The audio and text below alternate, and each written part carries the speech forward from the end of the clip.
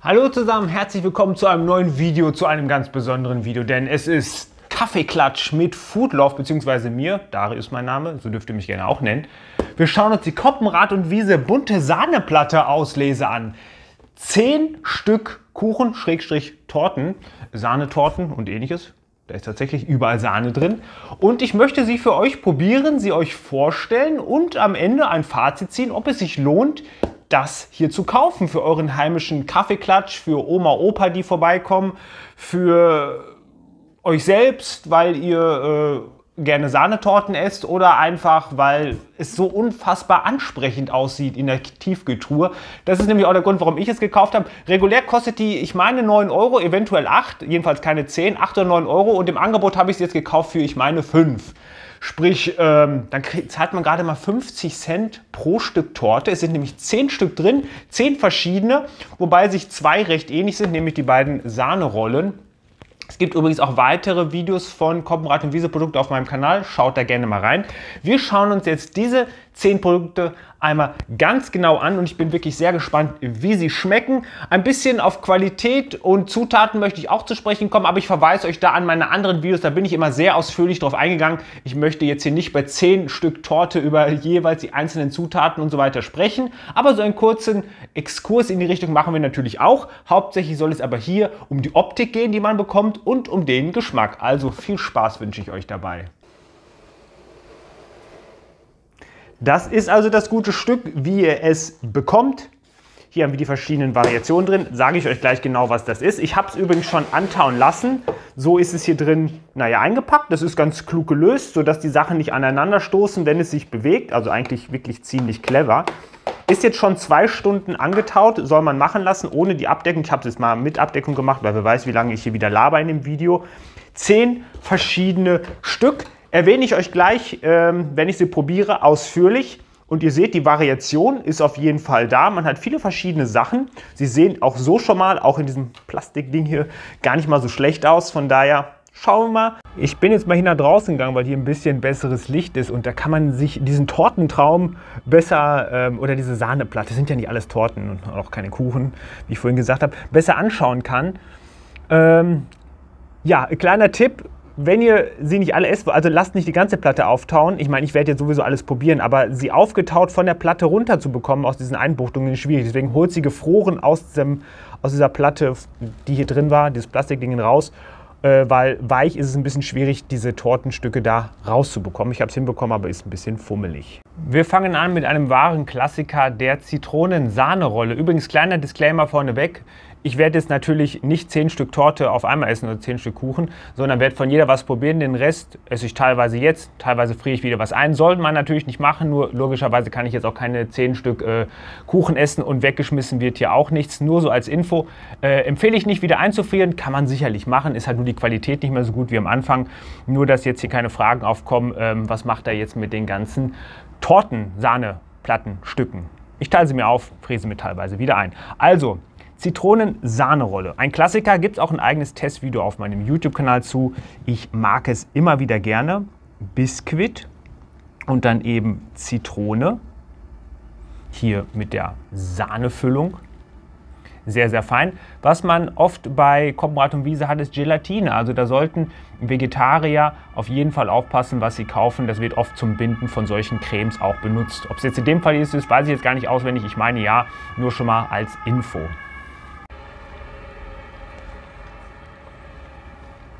Sahnig, der Teig richtig schön locker, leichte Zitronennote, angenehme Süße. Ich liebe die Zitronenrolle von Koppenrad und Wiese. Ich finde sie richtig gut, vor allem der Biskuit, der ist einfach perfekt. Der ist locker, fluffig, hat einen richtig schönen Geschmack, passt sehr gut für mich. Das hier ist das Mandarinentörtchen unten. Das wird vermutlich so eine Art Mürbegebäck sein. Darauf Sahne, Creme und obendrauf Mandarinen.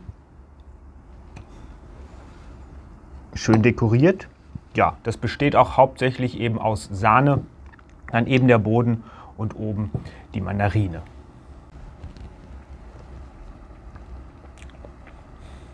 Mhm. Leicht säuerlich durch die Mandarine. Der Boden hat einen sehr butterigen Geschmack, ob da wirklich Butter drin ist. Sehr lecker. Sahne, 35% Sahne, 22% Mandarin. Margarine ist drin, aber hat einen sehr leckeren Geschmack, der Boden. Mürb und auch das Ganze nicht zu süß. Die Sahne kommt einem auch nicht merkwürdig abgebunden vor, obwohl sie mit Sicherheit mit Gelatine oder so stabilisiert ist. Ähm, ja, ist drin, aber lecker. Gefällt mir ebenfalls sehr gut. Als nächstes ein wahrer Klassiker. Ihr habt mir schon öfter gesagt, ich soll es probieren. Die Marzipantorte. Schön dekoriert hier mit Schokolade. Dann hier oben auch mit Sahnetupfern drauf. Da sind die vermutlich ein bisschen ähm, Nüsse ähm, oder sowas in der Art. Dann hier die verschiedenen Schichten, hier mit, ups, hier mit Schokolade noch drin. Unten ein anderer Boden als dazwischen. Unten Mürbe, dazwischen vielleicht so eine Art Kuchenboden. Dann hier nochmal Schokostückchen drin. Sieht ebenfalls richtig fein aus. Ich werde jetzt mal hier ein bisschen was von der Sahne klauen.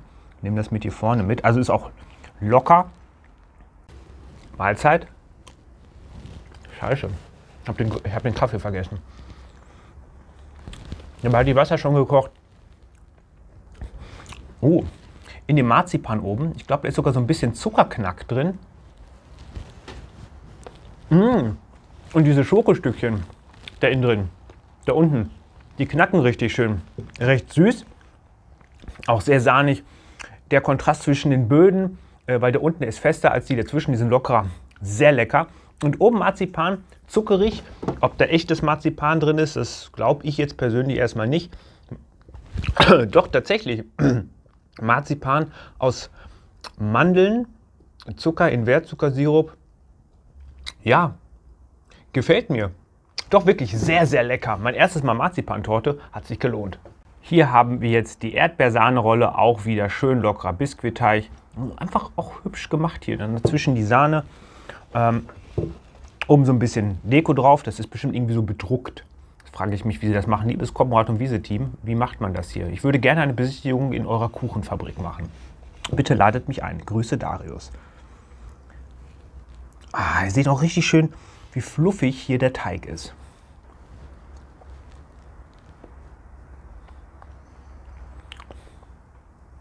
Sehr lecker. Biscuit wie bei der Zitrone, hier erdbeerig. Weder Zitrone noch Erdbeere finde ich jetzt zu stark, dass es irgendwie zu fruchtig ist oder so, weil das mag ich persönlich nicht. Dieses Fruchtpüree, dieses rote, ist intensiver als die Creme. Ich möchte direkt vorneweg sagen, bisher hat mir alles geschmeckt. Ich kriege hier kein Geld von Koppenrad und Wiese. Ich habe das auch alles selber be bezahlt. Ähm, aber es schmeckt wirklich einfach lecker, für, auch für so TK-Produkte. Es kommt natürlich nicht an gute Sachen frisch vom Bäcker ran, aber für gefroren Ey, nichts zu meckern, ganz ehrlich. Das hier ist der Erdbeer-Joghurt-Blechkuchen. Joghurt hätte ich nicht gedacht. 30% Sahne, äh, 30% Erdbeeren tatsächlich. Also wirklich viele Erdbeeren ist ein Qualitätsmerkmal. 19% Sahne, Joghurt 6%. Also das ist wirklich anhand der Zutaten ordentlich. Ähm, ich sag mal, Kompenrat und Wiese arbeitet auch mit Aromen, aber die 30% Erdbeeren, die sind auf jeden Fall ein Qualitätsmerkmal. Da gibt es nichts dran auszusetzen. Dann eben auch hier so mit, ähm, normalerweise ist es glaube ich Gelatine, das kommt mir so ein bisschen anders vor, vielleicht ist das hier eher mit Stärke abgebunden. Auch hier verschiedene Schichten mit der Joghurtcreme und den Erdbeeren. Ja, ist ein bisschen schwieriger auf die Gabel zu bekommen. Ich, irgendwie habe ich es drauf bekommen. Hm. Erdbeere noch ein ganz bisschen gefroren. Ist viel Wasser drin, braucht länger zum Auftauen als lockere Sahne. Lecker. Richtig schöner Erdbeergeschmack. Hm. Das ging auf die Hose. Finde ich auch nicht künstlich. Angenehme Süße, richtig fruchtig, sehr lecker mit den Erdbeeren. Joghurt. Ich versuche es mal nur was von dieser Creme hier. Joghurt schmeckt man jetzt nicht so wirklich, finde ich, aber trotzdem super, super lecker, schön erfrischend, ist so eine, so eine Sommertorte irgendwie auch empfehlenswert, ganz ehrlich. Das hier optisch äh, eventuell sogar das Highlight, die Stracciatella Kirschtorte. Verschiedene Schichten, Mürbeteig, Sahne dazwischen mit Schokostückchen, dann so Schokoböden, die richtig schön angerichtet. Obendrauf dann vermutlich so ein Kirschtopping, dann hier nochmal so kleine Schokodekorstückchen. Wow, also da gibt es absolut nichts zu meckern. Auch hier richtig, richtig dick oben die Schicht hier mit der, mit der Kirsche. Unten auch wieder so ein fester Möbelboden, dazwischen halt lockerer wieder, so Kuchenboden.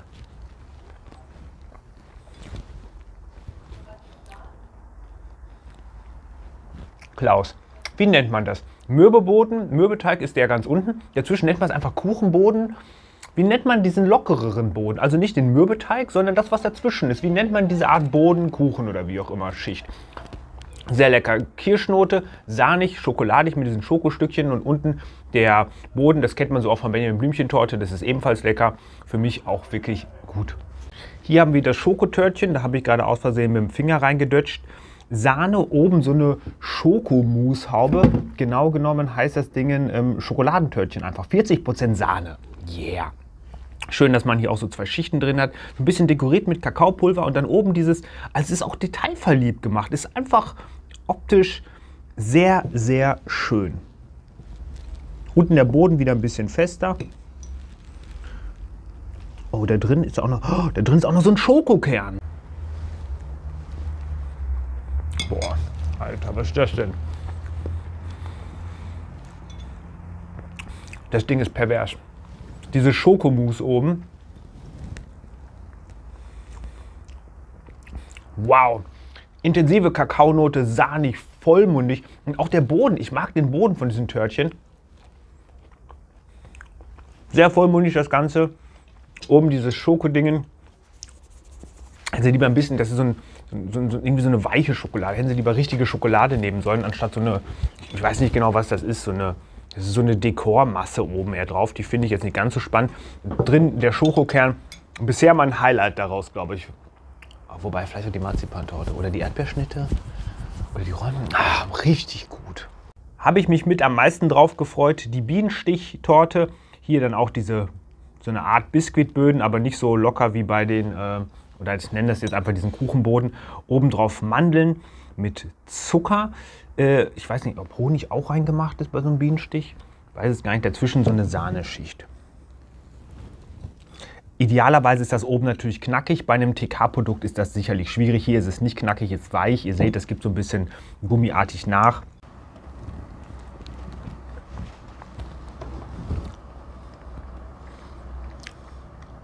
Rührteig Natürlich. Ein Rührteig ist es einfach. Rührteig, Bienenstichboden, 54% mit Volleis. Die erste Zutat, Zucker, Weizenmehl, Mandeln, 15%. Und obendrauf kommen dann ja auch nochmal Mandeln drauf. Die Sahnefüllung, 46% Sahnefüllung. Ähm, auch Gelatine drin, wie gesagt, das habt ihr hier immer bei Koppenrad und Wiese, da werdet ihr nicht drum rumkommen. Ähm, lecker, aber im Vergleich zu den anderen ist das jetzt hier für mich persönlich nicht ganz so besonders ähm, weil es halt einfach nur Sahne und Boden ist. Da fand ich eine so ein bisschen komplexer. Aber schmecken tut es trotzdem. Das hier könnte auch ein Highlight sein, die Erdbeer-Bourbon-Vanilletorte. Schaut mal bitte. Vor allem, die haben sogar verschiedene Schoko-Deko genommen. Schoko-Rundes äh, äh, und Schoko-Eckiges äh, weiße Schokolade, dann hier verschiedene Schichten, hier vielleicht so ein bisschen vermahlene Vanille drin. Dann haben wir hier einen Rührteigboden, Erdbeeren, noch so eine Erdbeer-Sahnecreme. Oh, die ist hier noch ein ganz bisschen gefroren, aber es wird noch gehen. Ähm, dann so, so, eine, so, ein Überzug drüber, unten wieder der Mürbeboden. Ah, sorry, jetzt hätte ich fast vergessen, euch den äh, Gabel, ich nenne es jetzt mal Anschnitt, zu präsentieren. Hm.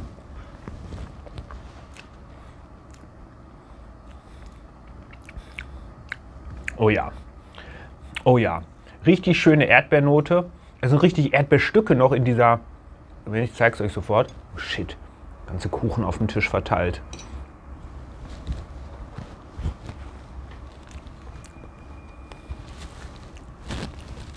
Ich noch so, so ein Stück. Wow, das Ding ist ja geil. Das schmeckt, an irgendwas erinnert mich das. Das ist eine geile Kombination, diese Erdbeere mit diesem Vanilligen. Da sieht man auch die Stücke. Richtig fantastisch.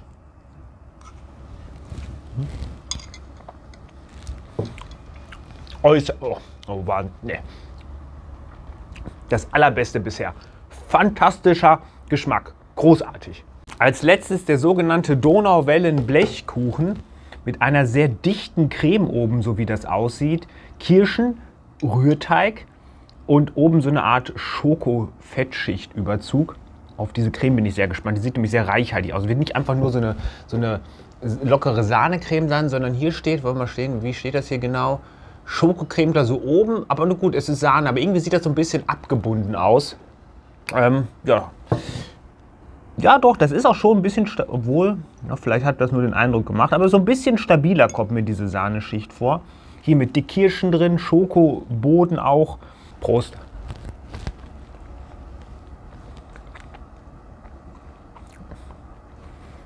Sehr fein. Man richtig, also ganze Kirschen drin, nicht nur irgendwie so kleine Fetzen. Die sind recht, die sind säuerlich, fruchtig. Was oben drauf, das ist eine Fettglasur-Schoko, die finde ich jetzt ehrlich gesagt so ein bisschen schmierig, einfach nur, das gefällt mir nicht. Schöne Kombination, Kirsche, Sahne, Schoko. Für mich kein Highlight aus der Box, aber gibt es auch an sich absolut nichts dran zu meckern. Ich bin halt an sich nicht so der größte äh, Sauerkirschen-Fan, aber das passt. So, was ist jetzt das Fazit des Ganzen? Nun ja, ähm, sie haben mir alle gut geschmeckt. Es gibt Stücke, die haben mir besser geschmeckt, andere, die haben mir weniger gut geschmeckt, aber keins war dabei, wo ich dachte, das schmeckt mir nicht. Sie waren alle gut, manche waren überragend, manche waren gut. Ähm, ist natürlich am Ende alles Geschmackssache, ihr werdet andere Favoriten haben. Was auf jeden Fall aufgefallen ist, alles sehr detailverliebt, optisch sehr schön zubereitet. Es ist natürlich kein Handwerkskonditor hier, äh, lokal aus der Stadt, sondern es ist Fabrikware, es ist Massenware, was man auch irgendwo am Preis sieht. Man zahlt im Angebot für ein Stück 50 Cent. Ich meine, das ist nichts. Beim, beim Konditor zahlt man 3, 4, 5 Euro, für, 5 vielleicht nicht, aber 3, 4 Euro für ein Stück. Sprich so viel, wie man hier für alles bezahlt fast. Ähm, trotzdem finde ich, dass für äh, verhältnismäßig günstige Preise, regulär kostet es ja auch 10 Euro knapp, dann kostet ein Stück knapp einen Euro, ähm, dass man hier sehr schöne Sachen bekommt. Ich habe nicht den Eindruck, dass das hier irgendwelche Billigware ist oder ähnliches. Man hat sehr detailverliebt die Sachen zubereitet. Hier Schoko, äh, Schoko äh, Sprinkles hier und dann äh, nochmal eine Dekospur hier und dann hier so ein bisschen Erdbeercreme durchgezogen. Optisch alles sehr, sehr ansprechend, qualitativ und da muss man halt einfach realistisch bleiben. Und da muss auch jeder einfach jetzt, ich sag mal, seinen Anspruch entsprechend an das Produkt anpassen. Kein Mensch kann erwarten, dass ein Produkt, welches jahrelang oder ein, zwei Jahre, ich weiß nicht, wie lange sowas im Tiefkühltour haltbar ist, dass ein Produkt, was eben jahrelang in der Tiefkühltour haltbar ist, dass da nicht irgendwelche Stabilisatoren oder Zusatzmittel drin sind. Das funktioniert nicht. Der Konditor um die Ecke, klar, der braucht vielleicht kein Guarkernmehl oder hier oder da oder Stabilisator E, schlag mich tot oder sowas. Das ist da wahrscheinlich nicht drin, wobei sicherlich die wenigsten Konditoren ohne irgendwelche Zusatzstoffe arbeiten. Ähm, aber ein Produkt, was jahrelang eben haltbar ist und eine gleichbleibende Qualität über die Zeit haben soll, da gehören Zusatzstoffe rein oder die müssen einfach drin sein, damit die Qualität gewährleistet wird, weswegen ich sage, es ist kein Kritikpunkt. Denn wenn ich so ein Produkt kaufe, dann muss ich mir im Klaren darüber sein, dass ich ein Tiefkühl Fabrikwarenprodukt kaufe, welches bei mir zu Hause aufgetaut immer gleich sein soll. Und das funktioniert eben nur mit Hilfsstoffen. Außer eben, man hat, kauft es frisch vom Konditor. Aber das habe ich ja gerade gesagt. Von daher ist das für mich einfach absolut gut. Es ist immer viel Sahne drin, da wird nicht dran gespart. Es ist viel Frucht dabei. Die Zutaten machen für mich auch einen vernünftigen Eindruck. Von daher kann ich ausnahmslos, also was heißt ohne Einschränkung, wollte ich eigentlich sagen, diese Tortenplatte hier empfehlen. Es gibt es absolut nichts dran zu meckern. Ihr dürft mir gerne schreiben, was eure Favoriten aus dieser Box sind oder allgemein von Koppenrad und Wiese. wie seht ihr das mit der Qualität? Ist das für euch akzeptabel, dass da eben Zusatzstoffe drin sind oder eher nicht? Gerade Gelatine ist natürlich schwierig an der Stelle. In vielerlei Beziehungen ist die Industrie vielleicht auch weiter, dass man Gelatine zum Beispiel ersetzen kann. Aber ich denke, dass es eben nicht also, dass es wenig Produkte gibt, die wirklich, wenn überhaupt, ich bin jetzt kein Konditor, die exakt die gleichen guten Eigenschaften hat wie Gelatine. Aber ich kann die Kritik daran durchaus verstehen und fände es auch schöner, wenn keine Gelatine drin ist. Ich bin jetzt aber kein Vegetarier. Von daher, aber für die Vegetarier wäre schön, wenn das irgendwann mal überarbeitet wird. Ob das bald kommt, weiß ich nicht. Das ist hier vielleicht so der Kritikpunkt, den man am ehesten erwähnen kann. Ansonsten nichts zu meckern. Hat mir gut geschmeckt und ich hoffe, euch hat das Video gut gefallen. Lasst mir gerne ein Abo da und einen Daumen nach oben als Support. Ich bedanke mich dafür und wünsche euch einen wunderschönen Tag. Macht's gut. Adieu und ciao.